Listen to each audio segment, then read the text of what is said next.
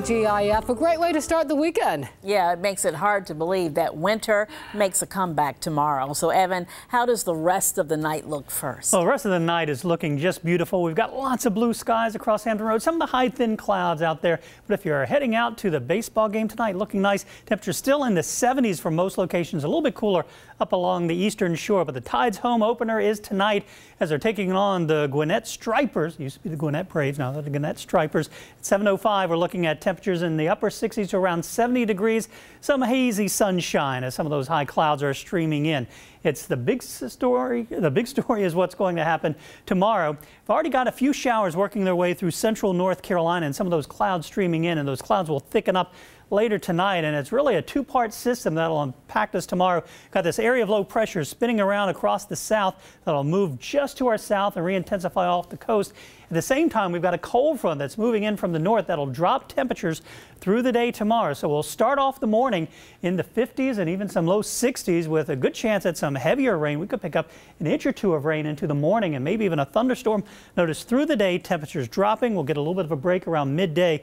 But it's as we get into the afternoon and especially the evening with those falling temperatures that we could start to see a mix or a changeover to some sleet and some wet snow.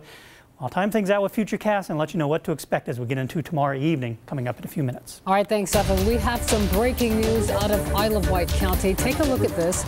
This is a large brush fire. 13 News Now viewer Pat McConnell alerted us to this fire after uploading the video to share it on 13newsnow.com. We called dispatchers and they tell us the fire is happening along a Hunt Club Road between Joiners Bridge Road and Carrsville Highway. There are no reports of injuries and dispatchers say no buildings are in danger. New at 6 medical records of more than 2,000 people may have been compromised. Chesapeake Regional Health Care is notified notifying potential victims by mail. All of them were patients at the CRH Sleep Center between April 2015 and February of this year. Officials found that two unencrypted portable hard drives were missing from the sleep center. The drives included patient names, birth dates, and medical records. It did not have social security numbers, addresses, or billing information. All patients impacted will receive 12 months of credit monitoring and ID theft protection services. Officials say they have made security improvements to prevent this from happening again. The mayor of Portsmouth addressed lawmakers and other city leaders today to discuss the state of the city. Mayor John Rowe wants to work on residential development to build up downtown Portsmouth. Jacqueline Lee has more on what the mayor wants to accomplish. Mayor John Rowe says he wants to work on residential development to hopefully draw more people into downtown Portsmouth. All roads lead to Portsmouth. And so began Mayor John Rowe's State of the City address. The message was simple to dispel any misconceptions about his city. You might have a negative assumption about um, Portsmouth. Well, park that assumption. Look at the facts. The facts are really amazing. Throughout his address, he highlighted small businesses, saying they're part of the reason Portsmouth is so successful. His priority moving forward, he said, is economic development, which means recognizing the importance of the waterfront, where a lot of government buildings are located.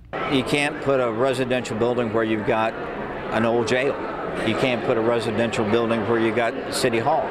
So the idea is to move off the waterfront and turn that property over to the private sector for development. Rowe said the city manager has been authorized to spend up to half a million dollars to start that planning process. Our size is a challenge, so we're in the recycling business.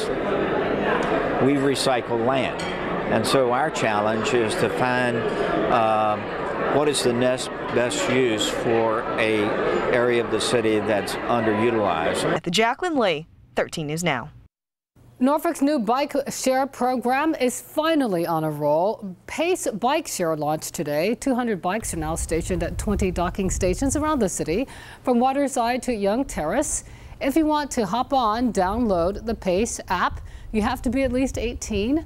The bike unlocks using Bluetooth. The cost is $1 for each half hour.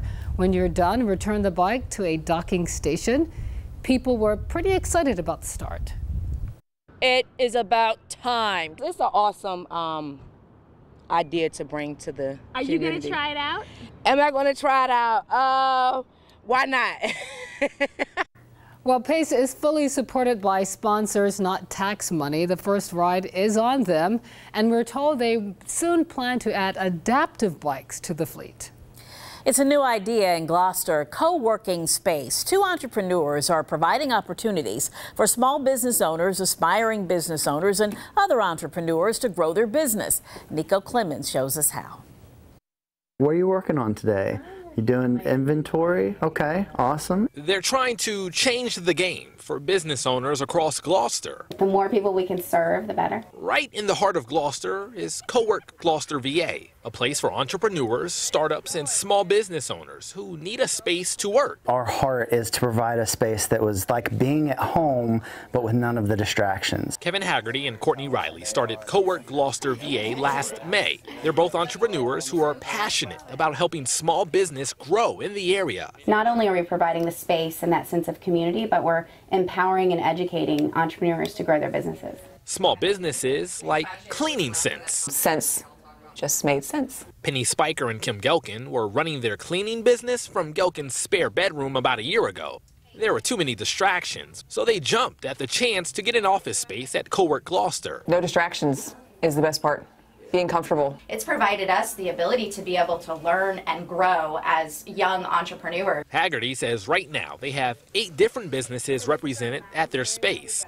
They expect that number to grow. Every day that we get to come in and see business owners being impacted by having this space in this community is rewarding. Haggerty and Riley say this is just the beginning. And we do absolutely see this as a need for Gloucester. They hope they are empowering and educating young entrepreneurs to grow their business. In Gloucester, Nico Clemens, 13 News Now.